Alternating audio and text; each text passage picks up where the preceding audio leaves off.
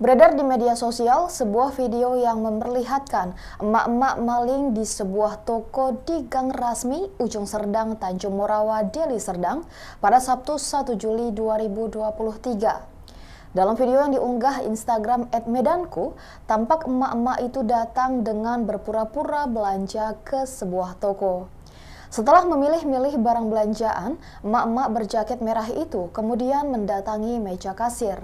Saat kasir tengah sibuk menghitung barang dagangan emak-emak tersebut, ia kemudian mengambil sebuah barang yang berada di dekat meja kasir dan langsung memasukkannya ke dalam rok yang dikenakannya. Setelah melancarkan aksinya, emak-emak itu kemudian pergi meninggalkan toko dengan mengendarai motor. Dalam keterangan unggahan itu disebutkan, akibat pencurian yang dilakukan emak-emak itu, pemilik toko mengalami kerugian dengan total 1,5 juta rupiah. Ikuti terus berita menarik lainnya, jangan lupa like dan share seluruh akun Tribun Medan.